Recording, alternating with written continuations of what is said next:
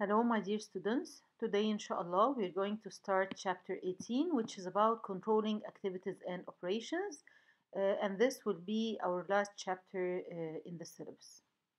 So, the first question here is what is controlling and why it is important? Let's start by the definition of controlling. Controlling is one of the four management functions, as we stated before managers has more uh, has four main functions which are planning organizing leading and controlling. So this is the last uh, function of the functions of managers. So it is a management function that involves it involves three things. The first is monitoring. What are we what we are going to monitor? We are going to monitor the activities that the employees are doing and then comparing comparing what the employees are doing with the plan that we put in the planning phase. So the comparison here is we are comparing the actual work of the employees with what we have written in the planning phase. And then step number three is correcting the work performance. If we found deviation from what we wrote in the planning phase, so we are going to correct the performance in order to put the work back on track, in order to make sure that the work is going towards attainment of the organizational goal. So to sum up, controlling is one of the management activities or the last management activity which is composed of three steps. First is monitoring. Monitoring is looking or seeing how the employees are working. Then step number two is comparing, comparing their actual work again against the standard that was put in the planning phase. And third is correcting the work performance. If we found the work performance is not according to the standard, so we have to put work back on track uh, to make sure that the work is done according to uh, what is going to lead us to achievement of the goals of the organization. And the second question is why is control so important? Uh, control is important uh, for three reasons. First of all, uh, planning. We mean by planning that uh, at uh, the first function of managers is planning. We put a plan. So we have to make sure that we are working according to that plan. So we have to do some control we have to make sure that employees are working uh, towards uh, achievement of that plan. Uh, we have to make sure that uh, everything is going towards uh, uh, accomplishment of that plan. So we have to have controlling to make sure that each one is doing his work so that we are going to achieve our goals. So we put a plan and now we are controlling to make sure that we are doing our work according to that plan. So controlling is important to make sure that you are doing your work according to the plan. The second importance is that we said before that you have to uh, do what we call empowering employees. Empowering employees, we said in Arabic it's called tamkin al-amilin. What does we mean by that? Giving employees the power to make decisions, giving employees to, the power to do some of the work in their own way, okay. I'm giving my employees the power to take a decision. I'm giving the employees the power to do the work in whatever way they see is right. Shall i leave them without control? No you have to do some control. You have to make sure that they took the right decision. Give them the power to take the decision. Give them the power to do their work in the way they see it is right. But you have to control. You have to have an eye on your employees to make sure that they are taking the right decision, to make sure that they are doing their work correctly. So, empower your employees, but at the same time, have an eye on them, control them. The third reason is that protecting the workplace. We have to have control over the physical facilities of the company. We have to make control in order not to have theft in the company, not to have corruption in the country, uh, in the company, uh, uh, so that uh, no one uh, um, uh, take important papers, no one takes the important things, valuable things from your company. So, in order to protect your workplace, you have to have control over the physical place of the company. We can say that the control process is a three step process which consists of number one, measuring actual performance. We measure the actual uh, performance of our employees inside the company. Number two, comparing the actual performance against the standard. We compare what what our employees are doing, what is the actual importance of our uh, employees with the standard that we put in the planning phase. And step number three, taking managerial action to correct the deviation or inadequate standards. Step number three is that we are going to take managerial action either to correct the inadequate performance if the deviation is something wrong from our employees or we sometimes correct the standard itself sometimes we are the ones the managers are the ones who put too high standard that could not be achieved so sometimes in the controlling process when you find that people couldn't achieve the standard and you revise the standard and you find it too high standard sometimes we go and correct the standard itself. So in the third step when you take a managerial action it is either to correct the deviation or to correct the inadequate standard. So in this figure uh, we can see in the middle of the figure in order to achieve the goals and objectives either uh, on the organizational, uh, divisional, departmental, individual level, uh, we have to go through the three steps. Um, first, measuring the actual performance, then comparing actual performance against the standard, and step number three, taking managerial action. We have to put a plan, make sure that people are working according to the plan, to make sure that people according to the plan. So you have to do control process which is uh, which consists of the three steps as we said before. Uh, measure the performance the actual performance and compare it with the standard put in uh, the planning phase and then take a managerial action uh, we do this in order to make sure that uh, we are going to achieve the goals and objectives uh, at any level in the organization Step number one uh, is measuring the actual performance. Uh, here, in measuring the actual performance, we have to uh, decide on two things. First is how we measure, how we are going to measure the actual performance. For measuring the actual performance, uh, we have uh, four uh, things we can use them in order to measure the actual performance, which are personal observation, statistical report, oral report and written report. Uh, and these uh, four things, we're going to discuss them into details in the coming slide.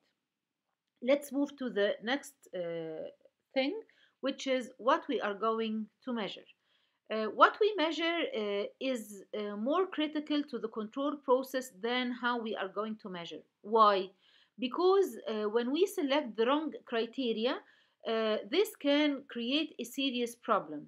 Beside, what is measured is often uh, determines what the employee will do. So it is very critical to know what we are going to measure uh, in order to understand uh, then uh, how we are going to measure it. So first decide what you are going to measure uh, and then after knowing what exactly you are going to measure inside the organization decide how you are going to measure it. The first source uh, of information for measuring the performance is the personal observation. Personal observation means that the manager uh, himself goes uh, by uh, goes to the work area and observe the performance of the employee. Of course, every type has its benefit and drawbacks. The benefits of this type is that uh, it, the manager gets first-hand knowledge. He gets all the knowledge by himself he is the one who will see the actual performance of the employee, not wait for other one to see and come and tell him about the performance. He is the one who will get the knowledge by himself uh, about the performance of the employee. Second, information is not filtered. Information is not filtered means that he will get all the information as it is about the performance of the employees. No one else is going to tell him half of the truth or the part of the truth that he or she wants to tell him. No, he will get all the information that he sees. So no one will filter whatever he wants to filter. Third, intensive coverage of the work activities means that the manager, while observing the performance, he is going to see other activities. So uh, while uh, going to observe uh, some of the activities of the work, he will have a look on the other activities uh, for uh, in the workplace. So this, uh, what we mean by intensive coverage of the work activities. He will see other areas, other people doing other work. So he will cover other places and other people while observing certain performance. The drawback is, is subject to personal bias. Sometimes it is subject to the manager uh, personality or the he doesn't like uh, that employee or he likes that employee that much. So it is something very uh, personal or it is sub- subject to personal bias. It is sub- something something uh, subjective. Uh, also it is time consuming. It consumes uh, a lot of time to do a personal observation and it's obtrusive obtrusive means that when you as an employee sees that the manager is coming to have a look on you, you are going to do your best to give him a good impression about you. Even if this is not your, your normal performance, you are going to try to impress him. You are going to show him that you are a perfect employee, even if this is not your normal conditions at work. So, this is what is meant by obtrusive. You are going to try to appeal to him that you are a very good employee. The second uh, source of information is the statistical report is that you are going to get statistical reports about the performance of the employees. Its uh, benefit is easily to visualize. Uh, it's very easy to see the statistical report, percentages, uh, graphs, and like that. It's something very easy for anyone to understand.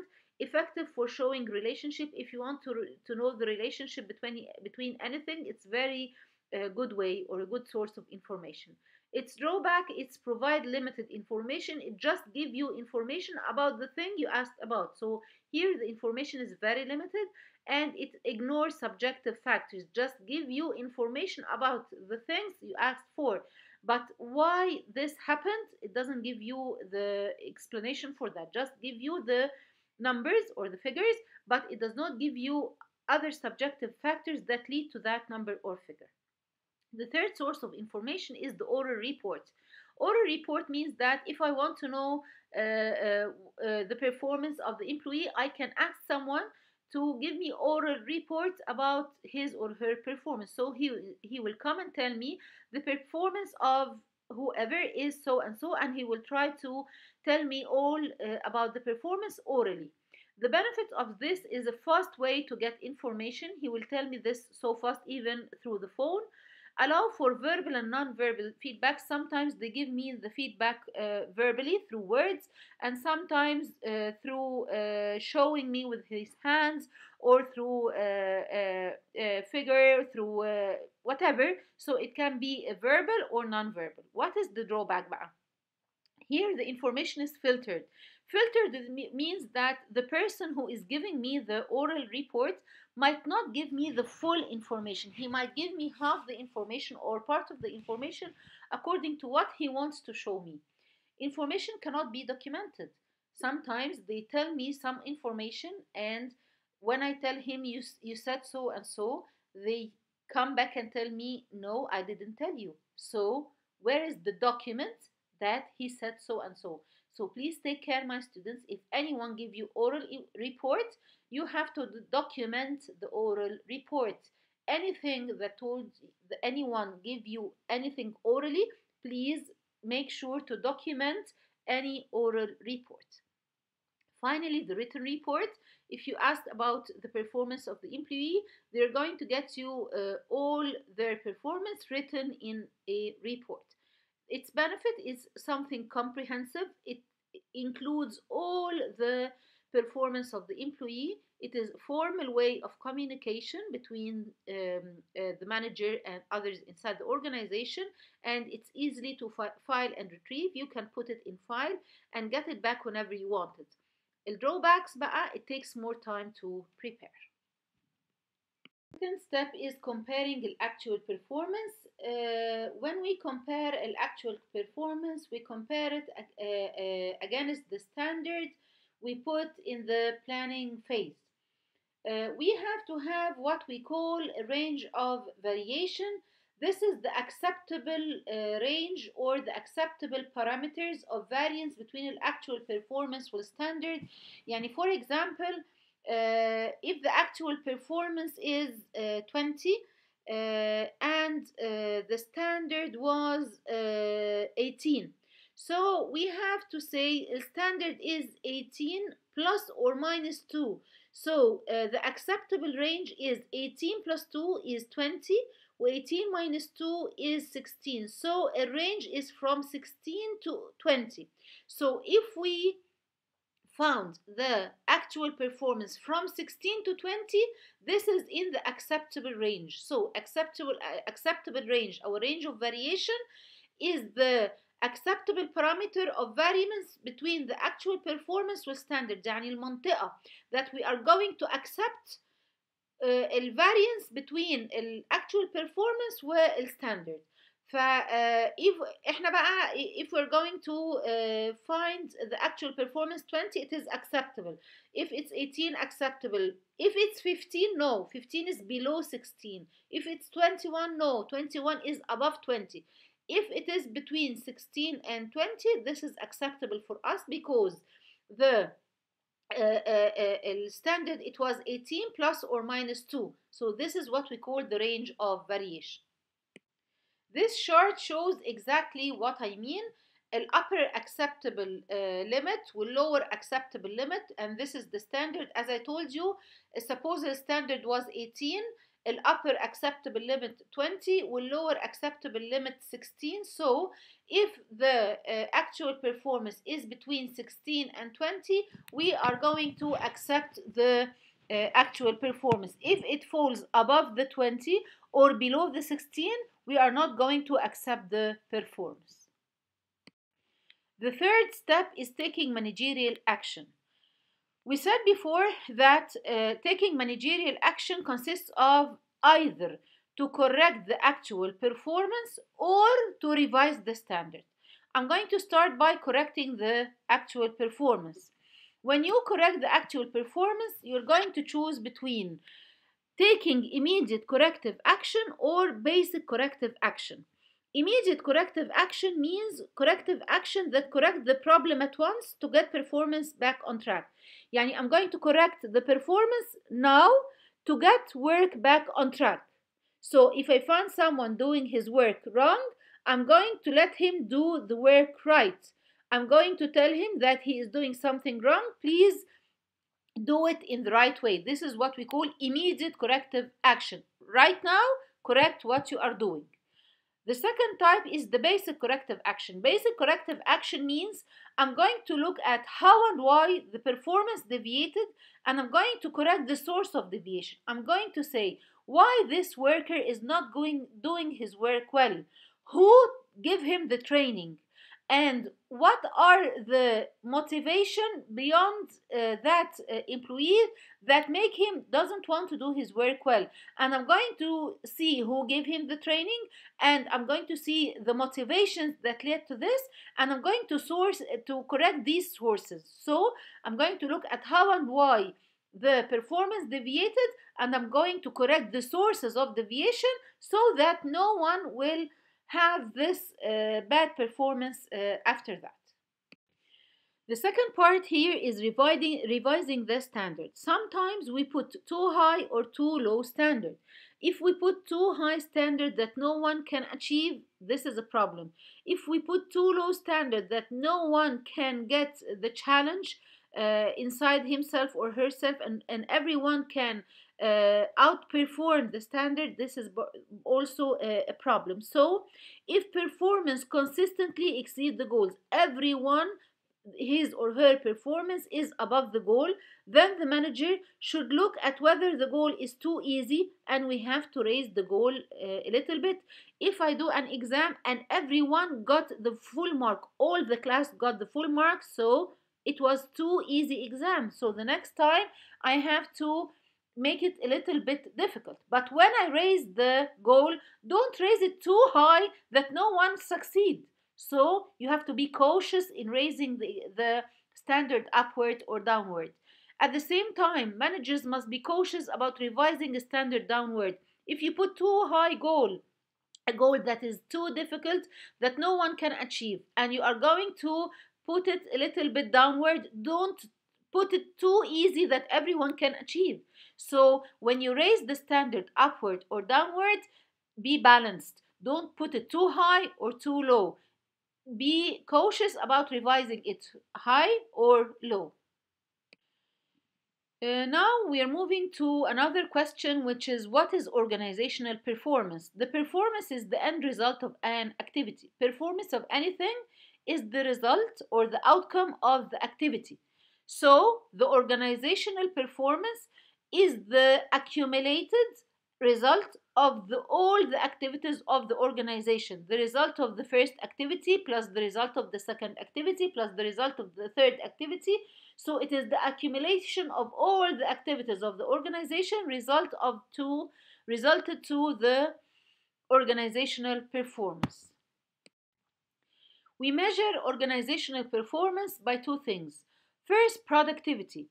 Productivity is the amount of goods or services produced over inputs needed to produce that output. It is a ratio of input over uh, output over input.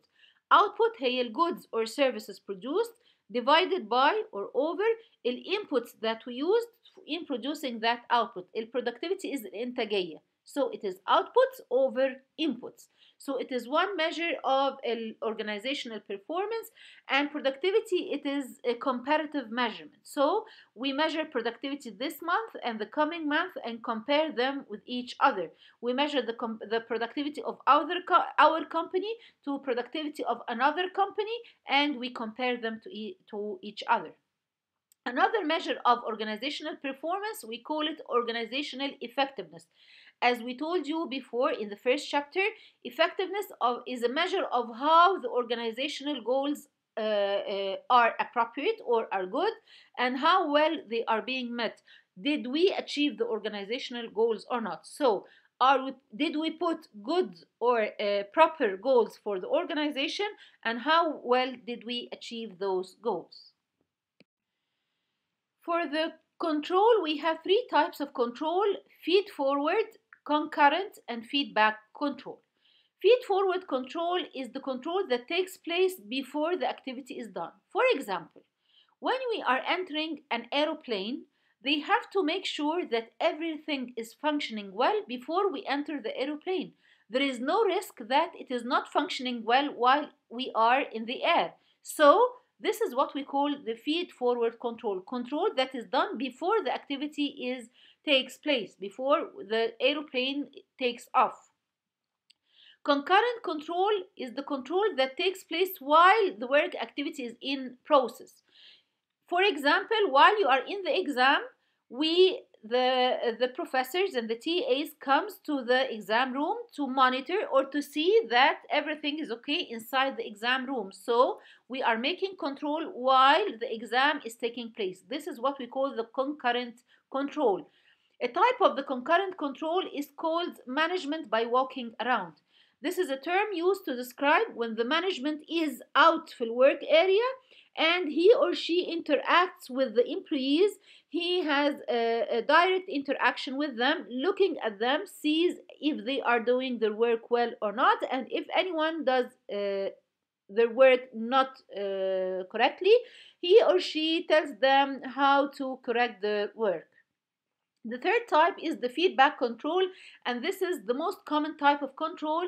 and this is the control that takes place after the work activity is done. After you eat in the restaurant they get you the paper to ask you did you like the food? Did you like the service? So this is a type of feedback.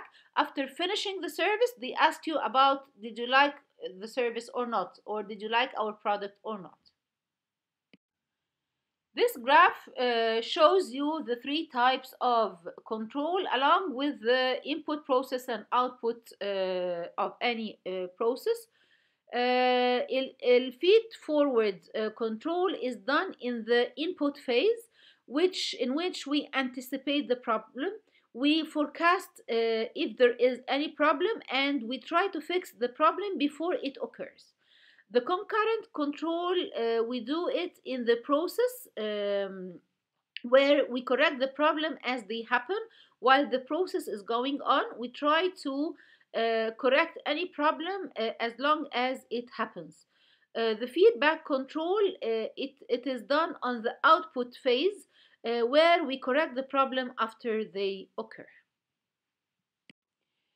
Uh, here we uh, came to an end to our chapter. Uh, thank you so much. Uh, and if you need any questions, you can send me via my email.